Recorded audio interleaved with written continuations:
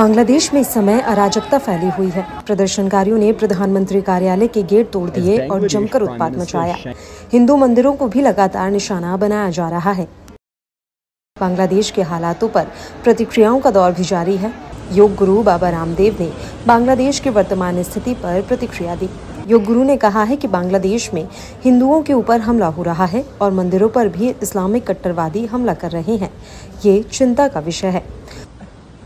उत्तराखंड स्थित हरिद्वार में रामदेव ने कहा कि जिस तरह से पूरी दुनिया में इस्लामिक कट्टरवाद बढ़ रहा है, वह हमारे देश के लिए बहुत खतरनाक है।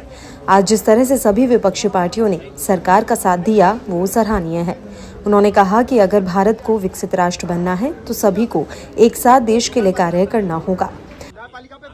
बाबा रामदेव ने कहा कि बांग्लादेश में हिंदुओं पर किसी भी तरह की क्रूरता या अत्याचार नहीं होना चाहिए। चाहे वो वहाँ व्यापार करने वाले हिंदू हों या वहाँ के हिंदू मंदिर हों या वहाँ रहने वाले भारतीय हों।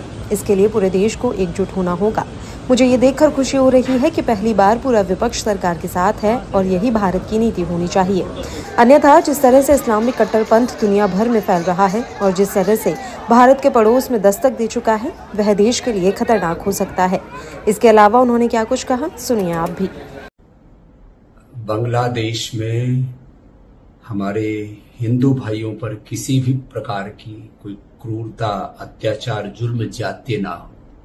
चाहे वहाँ पर हमारे हिंदू भाई हैं जो व्यापार कर रहे हैं या जो हमारे वहाँ पर हिंदू मंदिर हैं या हमारे भारतीय वहाँ पर जो नागरिक रह रहे हैं, उनके साथ किसी प्रकार की कोई नाइंसाफी ना हो, इसके लिए पूरे देश को एकजुट रहना होगा। और पहली बार मुझे ये देख करके प्रसन्नता हुई कि पूरा विपक्ष सरकार के साथ है और यही भारत की नीति होनी चाहिए। नहीं तो जिस तरह से पूरी दुनिया में इस्लामिक कट्टरवाद बढ़ रहा है और वो भारत के पड़ोस में जिस तरह से उसने दस्तक दे दी है, वह देश के लिए बहुत ही खतरनाक हो सकता है। ये एकजुटता हमारी आगे भी रहनी चाहिए। कोई यहाँ पर आरक्षण के नाम पर, कोई जाति के नाम पर कोई अलग अलग प्रकार के मजहबी उन्माद के नाम पर देश को जो बांटना चाहता है, ये ठीक नहीं है।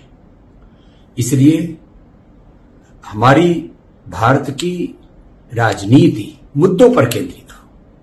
उसमें जाति, उसमें संविधान, उसमें आरक्षण, उसमें अलग अलग प्रकार के मजहबी उन्माद, जातीय उन्माद भाषाई उन्माद, तमाम तरह के प्रांतीय उन्माद, इन सब उन्मादों से परे केवल विकास के आधार पर और दो तक भारत को विश्व की आर्थिक, सामरिक, सामाजिक, आध्यात्मिक महाशक्ति हम कैसे बनाएँ, इस पर यदि पूरा देश एकजुट होकर के आगे बढ़ेगा, तब हम अपने पड़ोसियों के साथ में भी ताकत से खड़े हो पाएँगे।